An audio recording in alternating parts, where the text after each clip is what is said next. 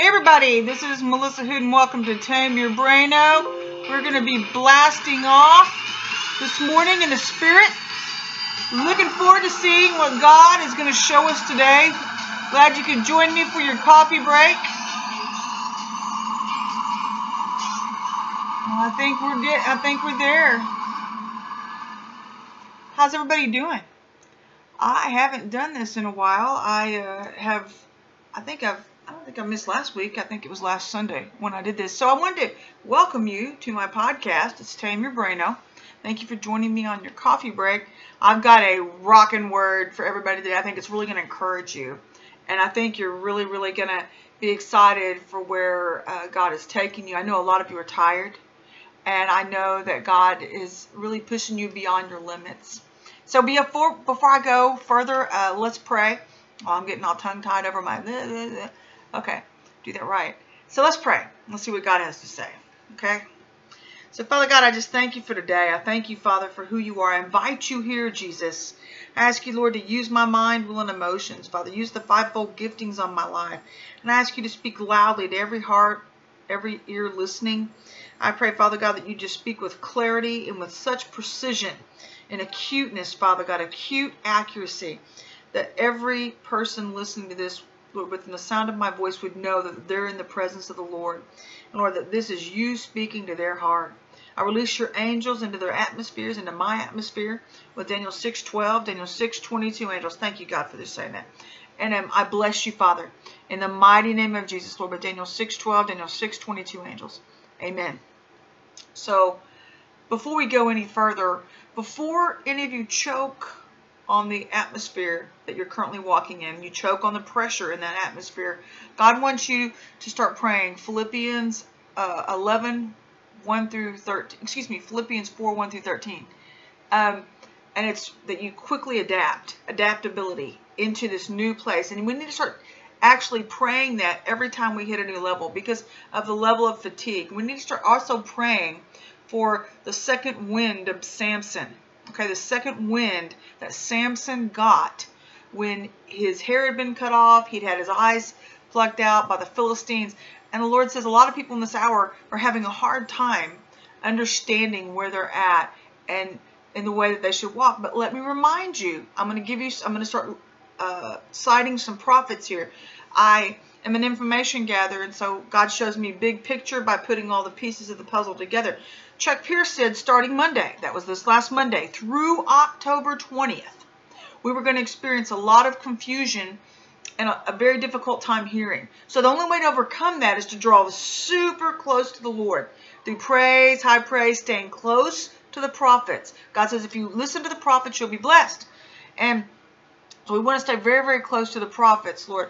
And the other thing is, is that we need to understand too that God is retaking the gates. He's to retaking the gates on the mountain level. That was happening last night through Dr. Mark Chironna. So his group is indicative. God is no respecter of persons. So what he does for one, he does for all. And the very fact that you're sitting here listening to this podcast tells me that you're moving forward and you're looking for that next step in your destiny. Okay, so you're right where you need to be. There's no uh, fear where you're at at all um, there should be no fear at all because you're right where you need to be. Um, a lot of people I'm noticing are very, very tired. They're just super, they're thinking, oh my God, is this ever going to stop? No, put that thought away and quit looking back to the things of the past. Thank you, Lord, for reminding me about that. Pardon me. Because the past, your past gifts, the, the level that they operated on, the way things used to be, will never come back like they were back then. We're doing a brand new thing through the Lord in our lives. He's doing a brand new thing through us. We are entering into the wealth transfer. I know you've said it for years, but this is really the mother lode of it this year. This year. And Kenneth Copeland said that if you could believe for it in 2016, God says with Romans 10.10, 10, if I say it with my mouth and believe it in my heart, I will have whatsoever I say. You can have it. You can have it if you can speak it and believe it and standing because we live by a season of seed plus time equals harvest. And so if you can outlast the test of time or the devil that's coming at you through uh, time, which you will because it's going to manifest this year because they're going to be manifesting very fast. I'm already seeing it in my own life. I'll pray something, it'll come to pass within an hour. I'm not kidding. Things are coming to pass that fast. So God has been establishing us. And a lot of us are right on the precipice. We've just stepped into that new place in the spirit for our own destinies. We're just getting ready to launch. And the Lord says, get ready, baby. Buckle up. This is going to be a white knuckle ride, but you're going to like it because you're going to see that I did a good thing. So I'm getting really excited. I don't know about you, but I'm really, really excited. So I want to take you back. Um, my quiet time this week was very, very interesting, but it was very, very powerful in that the Lord was talking to the Israelites about when he brought them out of Egypt because they brought them out the first time and they were faced with death on three sides, which means they didn't have too many options for escape. But God. And God made a way of escape through the narrow pathway, a very narrow way, which he's talking about a narrow way that usually means that he's shucking things off. He's getting things off of our vessel so we can go and fit through that place. So if you're not willing to get free, this is not the place to be screwing around in the spirit with the Lord and saying, well, I've done this for years. Surely it won't bother God now. Are you kidding me? We're operating at really, really high levels in the spirit now. The closer we get with Christ, God can't dwell where sin is, okay? So he wants you to make more room for him in your vessel. Okay? He wants you to get rid of the things that so easily beset you. Let him take them. Let him deliver you of them so you can operate in higher levels of love because God is love. So the closer we walk with love, we walk closer to the goodness. Well, God draws good things to himself. So you want more of him in your vessel because that's the way you're going to enter into destiny. Like draws like. Do you not see that? So that's what he's doing right now in this season. Um, but they didn't have a way of escape. So they there was they were faced with the the Dead Sea on one side, Scorpion Pass on another, which means there there are deadly scorpions there, and then the wilderness on another. Well, who wants to go back into the wilderness? I don't want to go back into the wilderness. So, um, thank you, Father. He's got so much in my spirit. I'm so full right now that um, I have so much to say. So I need, Lord, orchestrate my footsteps in this word right now. Help me to say exactly what you once said, Lord, and, minister to your people. Um, but the remnant, Lord says in my quiet time, He said, there were a few people left in the villages of Israel until Deborah arose as a mother for Israel. God's raising up the women in this hour. Go! I know that sounds biased. Um, but he is. He's raising up a lot of women commanders. He calls them leaders, but also commanders. And the reason he's raising them up because a lot of women are have been raised up underneath mantles that men should have carried. This is not to dog men. This is just to say that in those families that those women had those mantles placed on them. I'm one of them. Um, people in their bloodline didn't step up, so it was passed down to the next vessel that was readily available. And God doesn't care if it's a male or female. He said, hey, boom, take this. Go do it. That's what he said to Gideon. Here, I said it, you go do it. So that's what he's doing. So a lot of us women, a lot of us have, have been having to grow up into these high-powered mantles of anointing, and we're having to learn to operate in the tools that go with that mantle. And it's been a long, hard road. It's been hard for a lot of us. I mean, we, we have struggled in a lot of dimensions, but it, it doesn't make it any less of a struggle than, say, another person walked through, whether you're male or female. We've all had a long, hard road getting up these mountains. And so, okay, tell me when to say that, please. Hold that. Keep that. You said you're able to keep that, which I've entrusted you until that day. Keep that thought, Lord. Um, so he's waking up the Deborah. He said, wake up, Deborah. Chop, chop, wake up. He wants us to wake up. Wake up, because we've got to wake up the warriors. And so, if he sends in a woman, and God's not dogging a woman, but he did send a woman. Um, oh, I hear you. He sent in a woman, but the problem is, is not all the warriors wanted to move with her. Not all the warriors wanted to serve underneath her. Not all people will believe that women can serve in, in leadership, even in this hour, because some of the some members of the church are still sick. So they're wondering why uh, it says uh, hope deferred makes the heart sick. So they're deferring their own destinies. They're deferring their own blessings. When we refuse to get free from things, from old mindsets, from old generational cursings, you name it, spirits of religion, Jezebel, Ahab, especially, those are your first top three. Those made the top three list. Then you hinder your own blessing because that means you can't go higher into the Spirit of the Lord. You can't climb higher on your mountain. You can't enter into fullness. And I'm sorry, my dog's sitting right outside crying. I'm fixing to go move her. So um, you can't go higher, though. You can't go higher. So we have to be willing to be willing to get free. Okay? So God says He's raising up women commanders. And He says, March on with courage, my soul. March on. Those are the words for these hours. And what's so funny about that is that just two weeks ago, the Lord kept telling me that same exact verbiage. March on, baby. March on. Get in your position and continue to march. You're doing just fine. You're, you're right where you need to be. You're in position for your destiny to launch. So you need to continue marching. And the Lord says, may all your enemies die like, like. And may those who love you rise. This is key. I'm going to go back to the thing about Sisera for those of you who aren't aware of who that was. May you rise, you warriors, you part of the remnant who've been obedient thus far, like the sun, S-U-N, but really S-O-N, in all its power. That means you're rising with the sun, Jesus, in his fullness. That is rocking cool. That means we're, we're entering into resurrection power. That's just what happened to the um, apostles uh, the disciples, excuse me, right before they were anointed as apostles, they come up in full resurrection power. Um, and what comes into my mind too, which I don't understand, I believe that's also why Jesus showed himself um, in the in the Mount of Transfiguration with uh, he had Moses beside him, and I think he I forgot who else was beside him, but it was he was in his fullness, in his full glory, in his full height, and he was preparing him. This is the way, walk ye in it you're heading up the right mountain. Here, look, I brought you up on the Mount of Transfiguration because you are being transfigured. I wanted to show you what it looks like, what it tastes like, what it feels like in this moment. Because when you're in the full presence of God, you'll never forget it. We never forget it.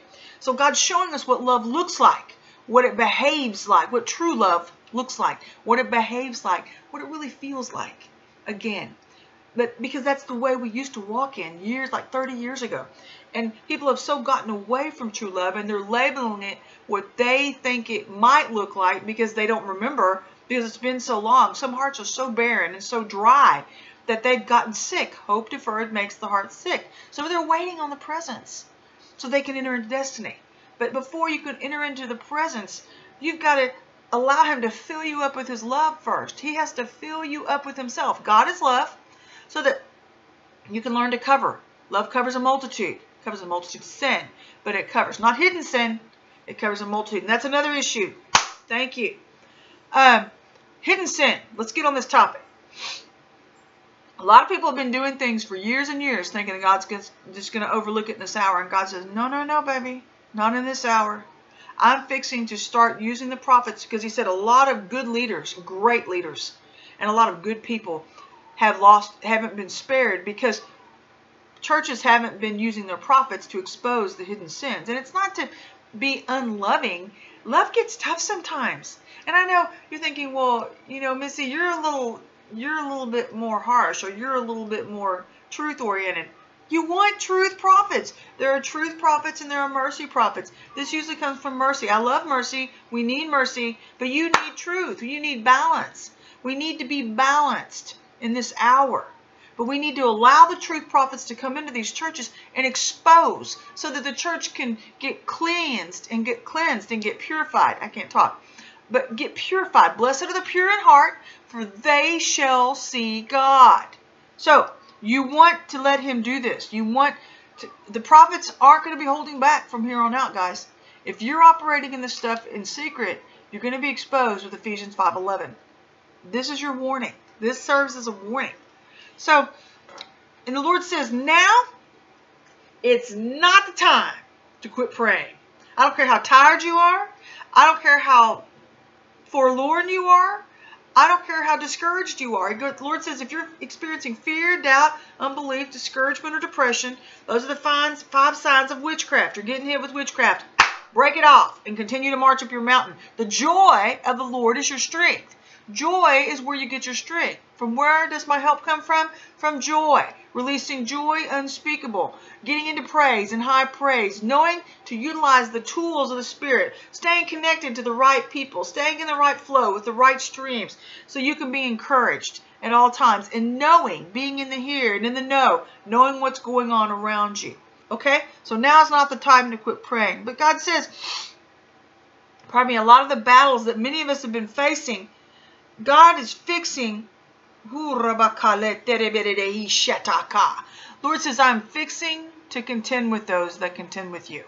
When people, even in the body, that keep choosing their own way and doing what's right in their own eyes, God says, I'm fixing to turn up the full throttle power and I'm fixing to start contending. So he's basically saying, you better back up, Jackson, because he's coming. He's his presence is coming on these vessels, and he's whoop, and he's fixing to start using us as vessels of God, using you as a vessel of the Most High God on the top of the mountain. Lord's been talking to me for four days now about standing on top of the mountain. He goes, I'm fixing to put you there. He goes, but you've got to learn to adapt to the pressure in this place with those leaders he goes, you thought you could handle it at first. He goes, and then some of you started going back into some old behavior patterns and some of you addictions and things like that. And the Lord says, no. He says, I still call you friend. He goes, put it down. Don't choose that over me in this hour. Choose me. Choose life. Don't choose death. Choose me so you can stand on the top of your mountain. And then pray. Philippians, hold on. Let me make sure I've got that right. I think it's Philippians 1 through 13. But before I say that, I always want to make sure I'm hearing right. Philippians 4, 11 through 13. Excuse me. Philippians 4, 11 through 13. Adaptability. You want to pray that you quickly, quickly, quickly, quickly adapt in this place of the Spirit so you don't choke on the pressure. Okay? So when you do that, you're going to start moving and shaking. And God's God's been having me play this crazy uh, chef game on my phone. And I thought I was just playing it because, or playing it because it was entertaining. Lord says it's a multitasking game. How well do you multitask? How well do you? And how many of you, by the way, exercise? That's been something big the Lord's been having me do. He's got me losing weight right now, trying to adapt to this level of pressure where I'm at so that I can do what he's called me to do. It's the same with you. Also, exercise is a good way to fight stress. Eating right and exercise. You got to take care of your vessel, guys. There's only one you. Okay? So, Last but not least, the Lord says, I'll turn the sins of the evil people back onto them. He said, I was there. The Lord says, I was there every day, meaning he was in the temple every day. So he, he's going back, basically. He's in the Garden of Gethsemane when he was telling the people, now it's not, uh, telling the disciples, now is not the time to stop praying. But they were exhausted from grief, so he found them sleeping. The disciples were exhausted. And so they were grieved because they kind of sensed the darkness that was coming, but they didn't know how to combat it. And God goes, I do. I know how to combat it. I knew how to combat it then, and I know how to combat it now. So for all of you who are getting all caught up in grief and you're you're oh my God, oh woe is me, woe woe is this nation. The Lord says, I'm not through with America yet. Stop it. Stop it. I'm getting ready to overcome. And he goes, and I'm bringing you into oneness, unity and community, like a straight arrow going forth. And you're going to do this together. And if you can keep that mindset, unity of mind, Psalms 133, 1 and Judges 20, verses 11, he's calling in the angelic, the holy angels in the third heavens from the holy angels in the earth, and they're joining forces. And if we can continue down that path, revival will break out. Because there are many hearts that have grown sick, and they don't know the way in which they're to walk. But the Lord went on to say, I was with you every day before when you were walking in darkness. But this is your moment, the time, this is key, when the power of darkness reigns. But it's not. You're ruling and reigning. Don't you see? The darkness thinks it is. And that's why the devil's kicking up such a stir because he doesn't want to give up his power. But God says, oh, no, no, no. The higher you go, the harder you fall. And the devil thought that he was going to place himself on God's throne and that he'd almost taken it. The Lord says, Nothing unholy will ever touch my throne as he knocks him back down through God's people. You're sitting at his right hand. Use your authority. Use the angels. But God says, I, when I leave, you will do even greater things than I. That's what he told his disciples right before he was resurrected. Okay? So we're right there. So this is the final thing I want to leave you with. He says, without oxen, a stable stays clean. That means there's nobody there to do the work. So there's work to be done. And he says, but you need a strong ox for a large harvest. God's bringing us all together as that one ox to plow the field so that many hearts can come back to Christ in America. God bless you, man. I want you to know I am praying for you. I I love you deeply. If you need anything for prayer or anything, please contact me at memoirs of an ADHD mind at gmail.com. Check up with you later. Bye-bye.